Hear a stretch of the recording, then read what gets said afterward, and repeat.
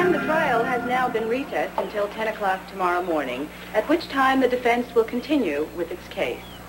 Live reporting from the Santa Barbara Courthouse, this is. What's Gina doing there?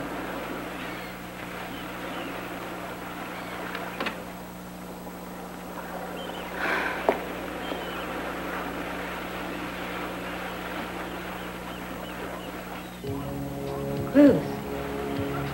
I, uh, I, I thought you were at the courthouse. I, I was just looking for you on TV.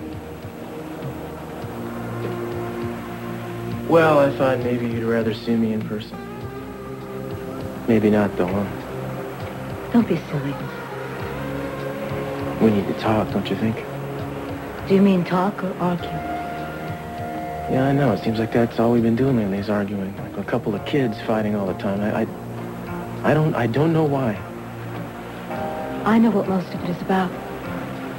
Yeah, I helped Eden out today and that hurt you. But you know, it didn't make me feel particularly great when you threw Keith in my face at that business thing. I know. I mean, we have something worth fighting for here. We have a family now with Brandon. And we took vows. We said we would help and protect and care for each other. Cruz, I've been feeling so lonely.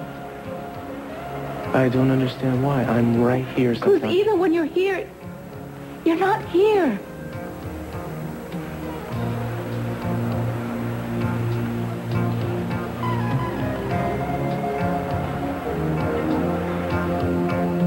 I'm sorry. I'm sorry about all that.